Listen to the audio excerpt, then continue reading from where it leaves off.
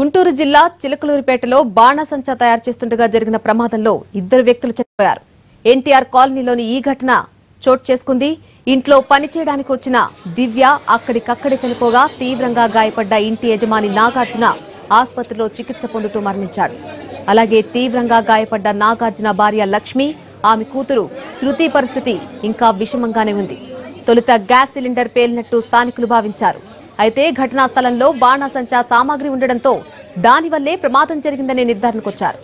చిలకలూరిపేట ఎన్టీఆర్ కాలనీలో బాణాసంచా పేలుడు కలకలం సృష్టించింది.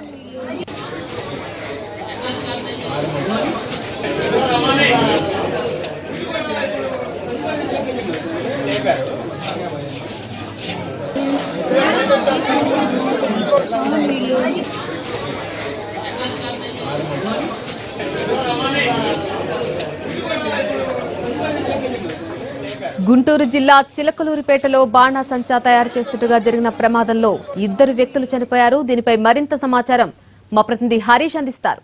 హరీష్.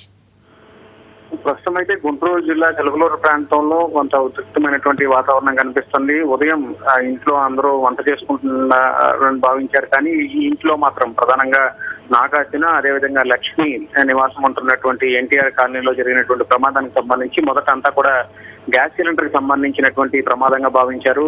ఉన్నటువంటి శబ్దం తాలూకా కానీ ఇల్లు ధ్వంసమైనటువంటి తీరు కానీ వీటన్నిటినీ కూడా పరిశీలిస్తే గ్యాస్ సిలిండర్ పిల్లల్ని కొంత అనుమానం వ్యక్తం చేశారు. అయితే తర్వాత ప్రమాదం జరిగిన తర్వాత పరిశీలించి లోపలికి వెళ్ళి చూస్తే గ్యాస్ సిలిండర్లు అన్ని కూడా సేఫ్గా ఉన్నాయి. ఎటువంటి ప్రమాదం జరగలేదు. అయితే బాణాసంచాకి సంబంధించి లక్ష్మీ ఊకులు కానీ లక్ష్మీ బాంబులకు సంబంధించి చిన్న చిన్న పిల్లలు గోడకేసి కొట్టుకునే పేలేటువంటి ఆ, ఏదైతే ఉందో ఆ బాణాసంచాన్ని తయారు చేస్తున్నారు. ఒక మిక్సీలో ఒక మిక్సీలో వేసి దాన్ని ఆ, రంగరించేటువంటి ప్రయత్నంలో ఇది ప్రమాదం జరిగిందని చెప్పి భావిస్తున్నారు. బాణాసంచాకి సంబంధించినటువంటి పేలుడికి సంబంధించినటువంటి ప్రమాదం ఒకసారి ఒక్కసారిగా ఒత్తిడికి గురవటం వచ్చినటువంటి స్పార్క్స్ మంటలు ఏవైతే ఉన్నాయో చిన్న చిన్న మంటలు వచ్చినాయి. ఆ తర్వాత పూర్తిగా సామాగ్రి మొత్తానికి అంటుకోవడంతో ఘోర ప్రమాదం జరిగింది. నాగార్జునతో పాటుగా దివ్య అనేటువంటి మరో మహిళ కూడా చనిపోయారు. నాగార్జున భార్య లక్ష్మి పరిస్థితి కూడా చాలా ఆందోళనకరంగా ఉంది. కూతురు పరిస్థితి కూడా కొంత ఆందోళనకరంగా ఉందని చెప్తున్నారు. ప్రధానంగా చూసుకుంటే కనుక చనిపోయినటువంటి దివ్య ఎవరైతే ఉన్నారో ఆమె లక్ష్మికి స్నేహితురాలుగా చెప్తున్నారు. బాణాసంచ తయారు చేయడానికి హెల్ప్ఫుల్గా అంటే సహాయకంగా ఉండేందుకు దివ్య ఉదయాన్నే ఇంటికి వచ్చింది. ఇంట్లోనే ప్రమాదం జరగడంతో ఇంట్లోనే దివ్య చనిపోయింది. నాగార్జున హాస్పిటల్ తరలిస్తుండగా మృతి చెందారు ప్రస్తుతం లక్ష్మి పరిస్థితి అదేవిధంగా కుమార్తె స్మృతి పరిస్థితి కూడా కొంత ఆందోళనకరంగా మారిందని చెప్పి వైద్యులు చెప్తున్నారు.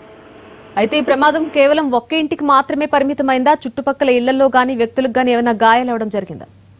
అయితే ప్రస్తుతం అయితే ఇంటికి సంబంధించి కొంత పక్క ఇళ్ళకి కూడా కొంత గ్యాప్ ఉండటం ఈ ఇల్లు మాత్రం పూర్తిగా ధ్వంసం అయిపోయింది ఎక్కడ కూడా పైకప్పు కానీ ఎక్కడ కూడా గోళ్ళన్నీ కూడా పూర్తిగా ధ్వంసం అయిపోయాయి ఇంట్లోనే ఒక మూలకి చనిపోయినటువంటి మృతదేహం మహిళ ఎవరైతే ఉన్నారో ఆమె మృతదేహాన్ని ఇసిడి కూర్చున్నట్టుగా ఒక గోడకి తగిలి అక్కడ ఆగింది. దివ్య మృతదేహం. ఇంకోవైపు నాగార్జున కూడా ఆ మృతదేహాన్ని కూడా ఆసుపత్రికి తరలిస్తుండగా చికిత్స పొందుతుండగా ఆ చనిపోయాడని చెప్పి వైద్యులు చెప్తున్నారు. ఇంకోవైపు లక్ష్మి పరిస్థితి. లక్ష్మి పరిస్థితి కూడా చాలా ఆందోళనకరంగా ఉంది. ఆవిడ ప్రాణాల మీద కూడా చాలా ఇబ్బందికరంగా ఉంది. ఊపిరి తీసుకోవడానికి కూడా కష్టంగా ఉంది. ఒక్కసారిగా వచ్చినటువంటి శబ్దం భారీ ఎత్తున వచ్చినటువంటి శబ్దం ఒకవైపు ఇంకోవైపు ఆ పేలుడు దాటికి గోడలు కావచ్చు ఇంట్లో సామాగ్రి కావచ్చు అంతా కూడా చల్లాచెదరైపోవటం ఆ సామాగ్రి అంతా కూడా వచ్చి మీద పట్టడం వచ్చినటువంటి శబ్దం ఒకవైపు పేలుడు దాటి ఒకవైపు ఇంకోవైపు వచ్చినటువంటి దీపావళికి సంబంధించినటువంటి తయారు చేసేటువంటి వస్తువులు కానీ సామాగ్రి కావచ్చు. అదంతా కూడా ఒక్కసారిగా వ్యాపించడంతో ఈ ఘోరం జరిగింది. జరిగినటువంటి